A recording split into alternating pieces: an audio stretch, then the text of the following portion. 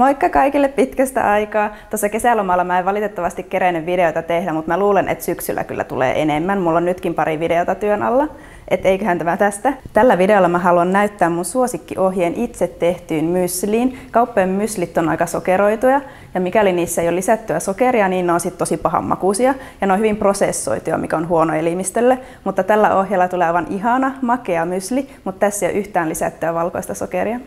Tätä ohjetta varten tarvitaan 5 desiä kaurahiutaleita, 5 desiä leseitä, 3 desiä pähkinöitä, 2 desiä kuivattuja marjoja, 2 desiä mulperimarjoja, 2 desiä siemeniä, 2 desiä kookoshiutaleita, puoli desiä öljyä, puoli desiä vaahterasiirppia tai hunajaa ja sitten kanelia mauksi.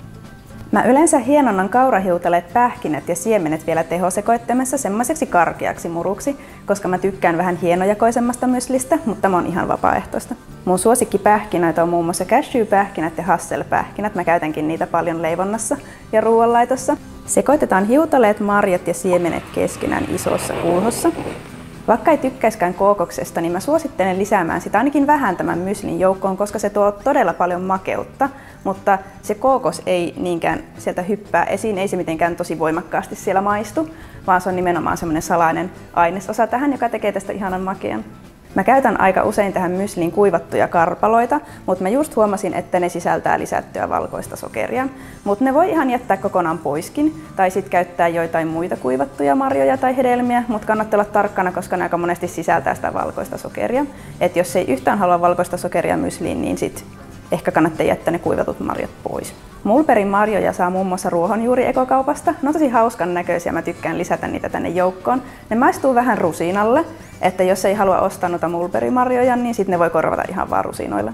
Sitten sekoitetaan öljy ja siirappi keskenään ja lisätään seoksen. Sitten sekoitellaan tasaiseksi.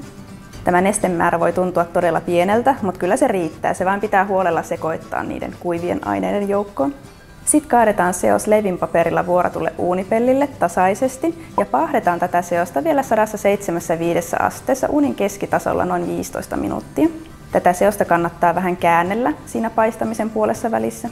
Tätä pahtamista ei missään nimessä kannata skipata, vaan tämä oikein viimeistelee sen myslin. Tästä tulee niin paljon paremman makuista, kun se vielä pahtaa uunissa. Sitten annetaan myslin jäähtyä huoneen lämpöiseksi ja mä yleensä laitan sen johonkin kauniiseen lasipurkkiin, mutta mikä tahansa kannellinen rasia toimii. Tällä ohjeella tulee mysliä noin 2-3 litraa, riippuu vähän siitä hienonnetaanko niitä aineksia tehosekoittimessa. Tämä on niin ihanan tuoksuista ja tämä säilyy hyvin kuivassa ja viileässä säilytettynä jopa puoli vuotta. Tämä on tosi ihana ohje ja kiva aamiaisvaihtoehto, jos vaikka alkaa kyllästyä kaurapuuroon tai leipään. Tämä on aika energiapitoista, että jos ei liiku yhtään, niin ei kannata hirveästi mysliä syödä, mutta tämä on tosi terveellistä. Mä tykkään syödä mysliä maidon tai maustamattoman jukurtin kanssa. Ja semmoinen pieni terveysvinkki, että makujukurtit sisältää tosi paljon sokeria. Makujukurtti sisältää enemmän sokeria kuin vaikka hattara, niin niitä ei välttämättä kannata ihan joka päivä syödä, mutta totta kai joskus saa aina syödä. Mutta tämmöinen ohje, tämä on yksi mun suosikki terveysresepteistä, mutta löytyy blogin puolelta ihan oma terveyskategoria. Siellä on paljon tämmöisiä kevyempiä, terveellisimpiä reseptejä. Ja multa löytyy YouTubesta terveyssoittolista. Mä linkittelen niitä tuohon alaskuvaus-laatikkoon. Testatkaa ehdottomasti tätä ohjetta ja laittakaa mulle viestiä tai kommenttia, mitä tykkäsitte. Toivottavasti tykkäsit tästä videosta. Kiitos kun tulit käymään täällä minun YouTube-kanavalla. Moi moi!